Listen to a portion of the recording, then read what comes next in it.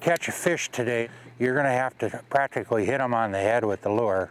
That's because at the bottom of this lake is a thick forest of Eurasian water milfoil, one of many foreign species that are invading North American lakes and rivers. This is Christmas Lake in Shorewood, Minnesota. An invader that has not yet infested these waters is the zebra mussel, and the homeowners here hope to keep it that way. And the only way we think that it makes any practical sense to do that uh, is with 100% inspection of the boats coming in. That was Joe Schneider in 2011.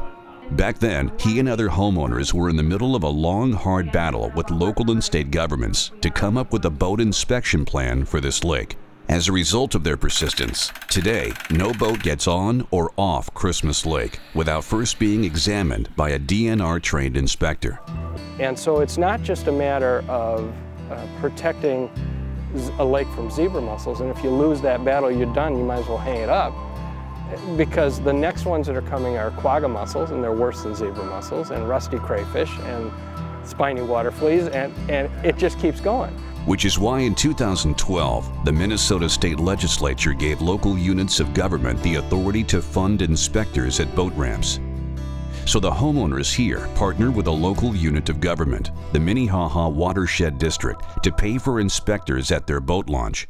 We kicked in 10000 and they, they're paying like 36 to $38,000 for these boat inspectors this year.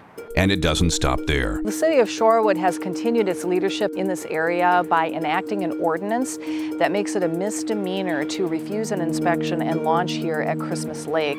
Uh, it's punishable by a $1,000 fine. So that adds teeth to, to the state law. That's a $500 state fine. So will boat inspectors actually prevent zebra mussels from entering a lake? Some anglers are skeptical. She did a good job, but she can't open the motor up. She can't look in the channels of the, the tubes in the trailer. You know, you just you can't get it done. Which is why, no matter what efforts are put into place, prevention always leads right back to the public who use this natural resource. Remember, clean, drain, and dry is our best defense in this daily battle with the silent invaders.